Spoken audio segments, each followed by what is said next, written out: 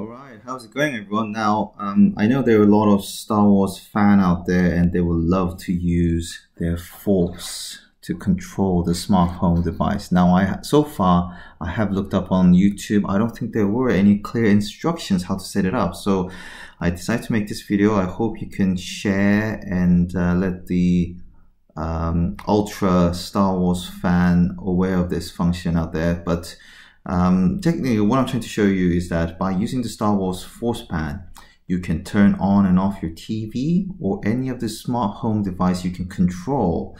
Um, but there are certain requirements for this, and it's fairly simple. And this doesn't seem to be addressed on and or information is available on YouTube. So I, I hope I'm the first one. Um, but anyway, here it goes. So first, you need to buy the Force Band, and I bought the rather um, worn out effect special edition for my BB-8 there. And the way how this BB-8 works is obviously you um, you can see the cable is connected to my TV and um, it's recharging through the USB power connection through my TV.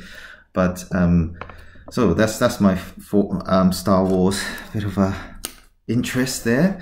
And um, to be able to use this force to turn on and off your TV, you need to buy a device called Logitech Harmony Hub.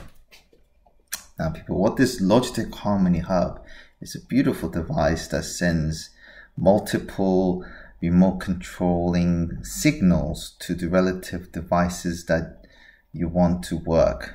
In other words, you register your remote control signaling to this device, and this will be a hub to uh, uh, in the middle to send the um, instruction to the relative device uh, that is controllable by remote control. Anything even down to even our Dyson fan heater is controlled by Logitech Harmony Hub because of the smart home device. Now, you, as you know, you, you must have heard many times out there how, well, you can use this through Google Home or um, Amazon Alexa. Now I'm going to show you because of this Logitech Harmony Hub. Let's show you, you've got a Google Home here. So here it goes. I'll show you how it works. Hey Google, turn on TV. Enjoy Young. Okay, you see that the TV is coming on now with the click sound and even the speakers on. That's how I set it up and the notification on my smartphone. But basically, that's super SuperVet on. And now I'm gonna use my voice control to turn off the TV. Hey Google, turn off TV.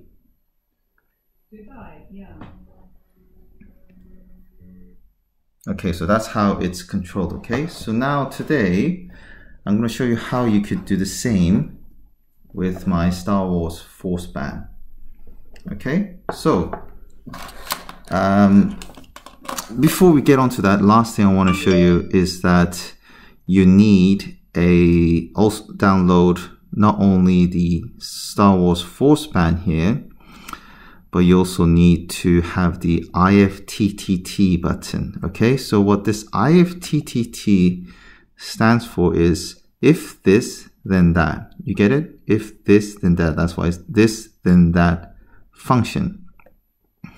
Now, I unfortunately I set it up so that um, uh, basically every single time when I instruct it, it gives me a notification. But anyway, so let's show you how it works.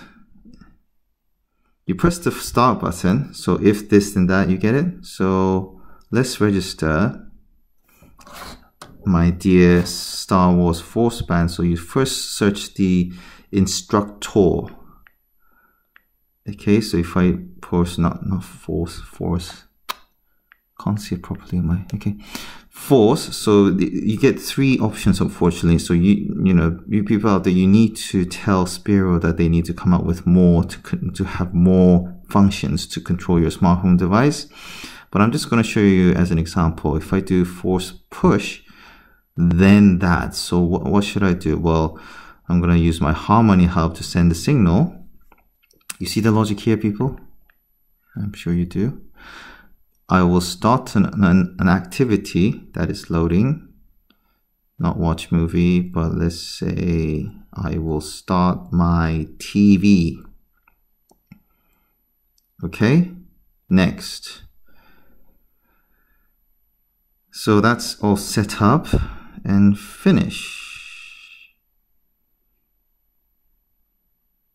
Okay, so that is on success, right? Okay, so let's add another one actually. If this, I just want to show you um, another force band, force, and then if I go stop, or let's pull it, then that. Then let's go for harmony to end the activity, which is to turn off the TV, okay? So let's turn off the TV by ending the activity and done. Next. And then you press finish. And that's pretty much it. Success, it says. Uh, so that's all done. So that's the side. Let's put on my Star Wars Force Band. Bear with me one second.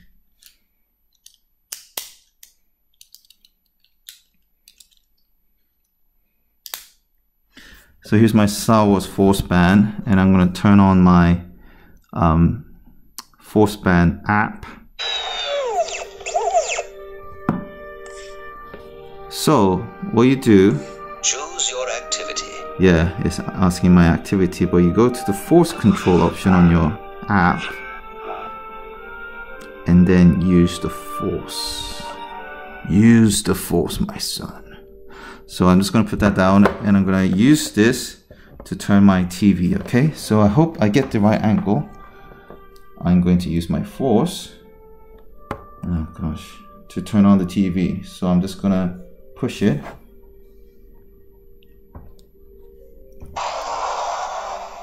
Okay? Yeah, you hear that?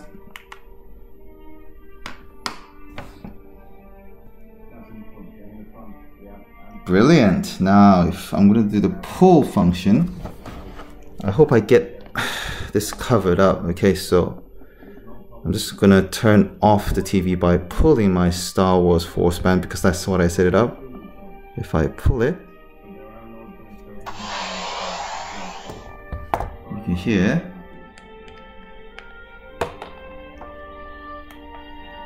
that's how it is. So there you go. That's how you control your Star Wars Force Band, and um, that's by clicking on the Use Force. I hope that was fairly simple, people. But all you need to do, basically, for spending money wise, you need to get that Logitech Harmony Hub. It's worth it. Choose your activity. I will choose my activity later on, but anyway. Control combat training. Uh, bear with me. Powering down. Powering down. Okay, so that's how you use your force band as a source of a smart home controller. Unfortunately, there's only three function at the moment, but I hope you uh, see how the logic works with this smart home device controllers and especially if you're a hardcore Star Wars fan out there, I'm sure you're going to enjoy this function. So this is the video clip of showing how it works. So thank you very much for watching video, watching this video. This is love. Jesus, please. Bye.